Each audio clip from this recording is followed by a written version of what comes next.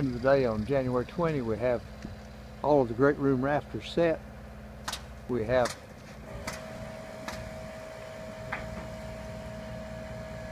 two sections of the ridge beam and three posts set for the main section of the house. And we have several rafters set into place for the front section. Waiting now for the snow that's being called for tomorrow.